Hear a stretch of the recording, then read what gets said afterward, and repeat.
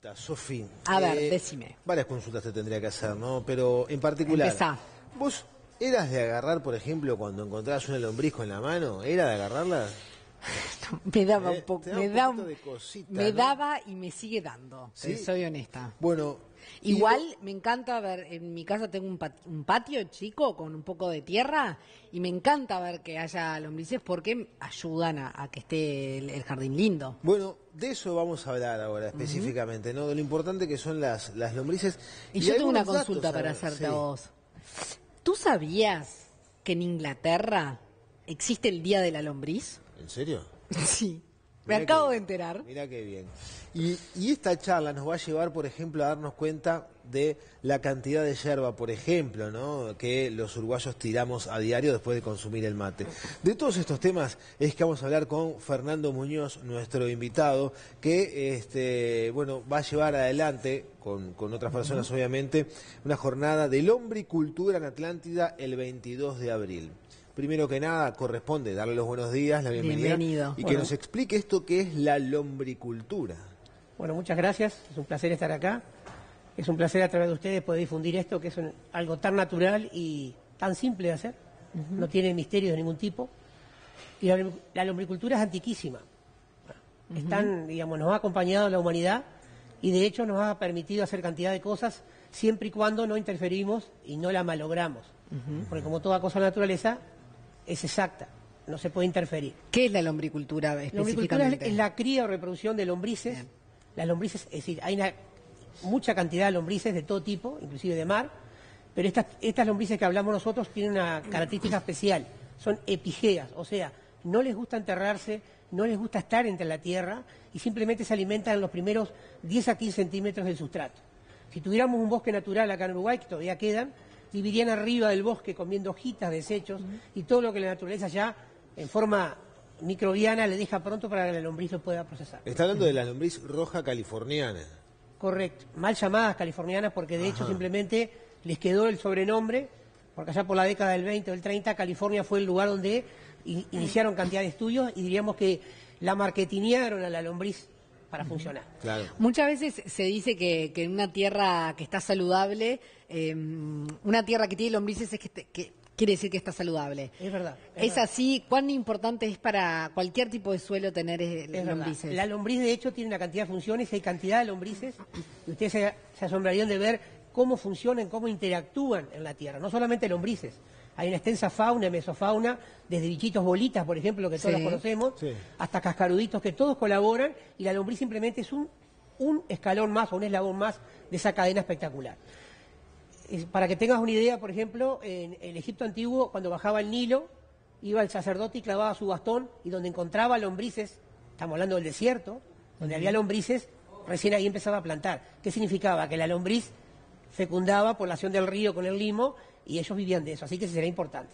O sea que este, la lombriz es sumamente importante en el ecosistema, ¿no? Y, y mantener nuestra tierra saludable para, para este, bueno, cultivar, en fin, o lo que haya uno a, a hacer. Usted se dedica a vender lombrices. Claro, este, esto empezó hace cuatro años cuando dejé mi, mi carrera docente y una vez que funcioné ese me dediqué como buen jubilado a estar en mi casa y hacerme el vivero que todavía soñé con hacerme y pretendía cultivar mis propias hortalizas. Mi señora flores y pasto y mi hija eh, césped, perdón, y mi hija que le gustan los cactus. Simplemente ¿Que no le gusta qué, perdón? Los cactus. Cactus. Ah, sí. cactus. Simplemente no funciona porque la arena, por más que uno eche agua y agua, crece un día, el otro día está de vuelta. este, Porque usted vive en una zona costera. Claro, vivo en Salinas. donde en Salinas el, el- el suelo mayoritariamente está conformado es, por arena. es toda arena. Entonces digamos que no tiene nutrientes. Entonces, eh, un poco ya frustrado por no lograr lo que quería, empecé a averiguar y empecé a darme cuenta que con la investigación que hice, con lo que me informaron, que gracias al humus de lombriz podía lograr algo más. Y bueno, empecé con mi primer, compré mis primeras 500 lombrices. ¿Dónde compró las primeras 500 Hay lombrices? gente que vende lombrices, gente que está mucho antes que yo, que evidentemente lo hace en forma más artesanal. Y le compré lombrices a una señora de Colonia, que me las mandó gratuitamente, digamos, me las envió.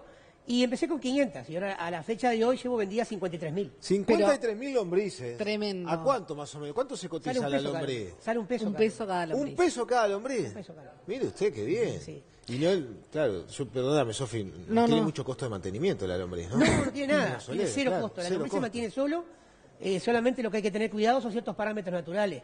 Yo, por ejemplo, trabajo con agua y lluvia, no admite otra cosa, porque lo demás lamentablemente está muy clorado, agua de lluvia, tener un sustrato, eh, una, un lugar de come, desechos orgánicos de mi casa, yo evidentemente que ya excedí la producción de desechos orgánicos y tengo que alimentarla, la alimento con, con estiércol, con abono de caballo, con conejo, etcétera, etcétera, pero también lo que ustedes están interesados que le doy yerba. Y tenemos Yerba. una materia prima en antes, antes de ir a la yerba, que, que me parece súper interesante, necesito saber, a ver, reciben las, las 500 lombrices en una cajita, supongo. Claro, llegaron a una cajita pequeña, acondicionadas para el viaje, como yo hago también lo Bien. mismo. Sí. ¿Y ahí qué se hace? Bueno, simplemente ya le preparé el- los lechos que se llama, hay que preparar un lecho. Un lecho significa que hay que poner en un recipiente que las, las quiera acondicionar. Puede ser una cajita, puede ser un recipiente en tanque de 200 litros. Y hay que tener en cuenta ciertas cosas. Que las lombrices tienen su ritmo. No pretendan con 250 lombrices producir humos enseguida. Ellas tienen un ritmo natural, la naturaleza los Pero en, en ese lugar donde están... En ese lugar que llegan, yo le armo un lecho húmedo, es decir, por ejemplo, se van a reír, cartón mojado, el cartón, por ejemplo, de un maple de huevos, bien húmedo, Sí. eso está bien húmedo y se le pone y ya les encanta estar ahí, no les gusta la luz, tienen terror a la luz porque se mueren con el sol, entonces son fotofóbicas, y ellas las ponemos ahí inmediatamente, le ponemos los desechos orgánicos que sacamos de casa, que hay una cantidad de, digamos, hay que tener cuidado con algunos, por Claro. ejemplo, los, los ácidos no van, no va nada condimentado, no puede ir carne, no puede ir leche, ¿me explico? Pero no son, son muy pocos, el resto van todos, bien picaditos chicos y en lo posible húmedos. Bueno, a ver, este, ¿usted cuántas me dijo que tenía ahora? Vendí hasta ayer Lleva 53 vendida mil. 53.000. mil. Si yo tengo la costumbre de contarlas, ¿Cuál- ese, eh, con- contar lombrices, o sea, bueno, ¿cómo, es, ¿cómo es el tema? bueno, el Está tema bravo. es, es- es muy simple, es muy simple. Hay gente que las vende por puñados sí, no, pero y es lícito, eh, pero pasa que yo soy el concepto de que si una persona me compra 500, tienen que ir 500 o más. Totalmente de Porque acuerdo. está pagando por eso. Claro. Ese, digamos, No, menos de 500 Es mi que- sistema. Entonces yo lo que menos vendo son los 150. Eso se llama un pie o un núcleo también llamado lombriz.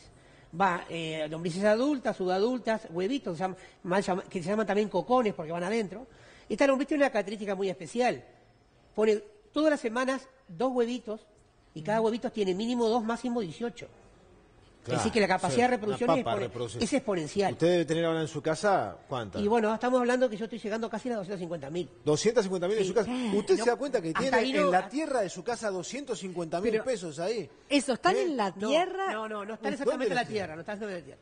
Este, en mi casa yo tengo, hice contenedores, apliqué un método de una señora americana allá del año 30, la señora Anne Happyhol, que armó, ella vivía en un apartamento y quería tener este lombricita y armó cajas. ¿Y Porque esta lombriz, ¿qué pasa? Como la lombriz no se entierra, ella dijo, ¿por qué no sube? Entonces hizo cajitas agujereadas y la lombriz cada vez que se termina la comida abajo, sube a la cajita de arriba. Y la cajita de abajo nos queda con qué? Con el humus preparado para poner a mis plantas. Qué maravilla. Bueno, y hablemos de la yerba ahora. sí. Bueno, el tema, ¿qué, qué, qué tan importante es eh, el, el desecho, esa hierba que nosotros consumimos, que es muchísima la cantidad que se consume en nuestro país?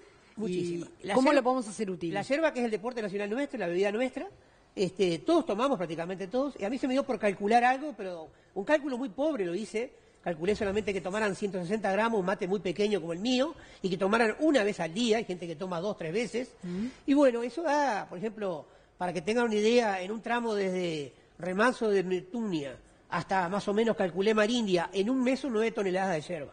Y le calculé solamente 50% de la población que vive ahí según el censo del 2011. Bueno. Decir que estamos hablando de 9 toneladas que procesadas con la lombriz darían 4 toneladas y media de humus puro. De humus puro que es fundamental para... Es la enmienda orgánica más fácil de tener en la, en la casa para cualquier cultivo. La verdad, este, no estaba al tanto de esta No. industria. Igual hay una parte que se me Cabe- olvidó, pero obviamente no Cabe tenemos destacar más que el tiempo. LATU, pero- el año 2008 hizo un trabajo muy, yo me Sí. basé en eso, un trabajo científico, en el cual probó, porque la, la yerba no se le puede dar de inmediato, la lombriz la matamos de inmediato. Claro. El Ah. hizo todo un trabajo muy bien hecho, lo hizo con la Intendencia de Montevideo. La Intendencia de Montevideo tuvo un proyecto que ahora evidentemente lo ha diversificado para otras cosas, y este, en el cual se pretendía dar mano de obra justamente a, Estaban hablando de gente con problemas de discapacidad que podían dedicarse a eso, que es un trabajo simple, no es complicado, se puede hacer llevar a cabo por, digamos, por jubilado, por gente que no tenga especialización, y además que es lindo, porque no, no, no- no tiene peligros, es placentero, y la lombriz siempre, siempre trabaja bien. Para terminar, descartar la hierba del mate en, un- en el cantero de tu casa, ¿está bien o no hay que hacerlo? No, está bien, lo que pasa Está es que la estamos aprovechando porque esa hierba, con un debido proceso que no es muy difícil, que se llama compostarla, de repente 30, 40 días, y después se le da la lombriz, y la lombriz transforma en algo, digamos, espectacular. Muy bien, qué interesante. ¿La lombriz es buena carnada? Sí, se usan mucho como carnada. De hecho, en Estados. Unidos las crían para eso. Claro. Y este y hay un americano, un señor de California, que tomó el trabajo de darle comer algo fluorescente para que brillen, porque estas se llaman las coquetas rojas. Se mueven muchísimo. Claro, Las las vi. coquetas meñadoras le llaman. Mire usted, mire No, usted. una- Y está- no, no, no, me, bueno, no. me- me mataste. La, la pobre lombriz eh, trabaja, nos da un la- de la tierra y vos la estás dando para comer. saber de los muchos clientes que tiene este Fernando, entonces, este, si alguno lo utiliza para eso o no. Me han comprado, Claro. hay gente de los pescadores. De hecho, yo no soy muy proclive a venderlas para pescar. Este, no es que no, no, me gusta pescar, pero me, no me gusta darlas para pescar. sí. Está muy bien. Está muy bien. Bueno, este, 22 de abril en Atlántida, la primera jornada del hombre y cultura, ya saben, pueden ir ahí e informarse un poco más sobre esto. Les quería decir que, por ejemplo, está diseñada esta charla para cualquier persona. En especial apuntamos a aquellos estudiantes de la Facultad de Agronomía o veterinaria. Para ellos hay este, un descuento especial, porque son estudiantes, porque son van a ser el futuro del país. ¿ah? Claro que sí. Si ellos aprenden, Todos los datos quedan aquí en la producción de, de, de Buen Día Uruguay para que ustedes puedan entonces interiorizarse respecto a esta charla y al trabajo que hace y en todo caso, ¿por qué no? Este, comprar algún, algún lote de, de- de las lombrices. Muchas gracias. Muchas gracias. Gracias a ustedes, Gracias por su visita.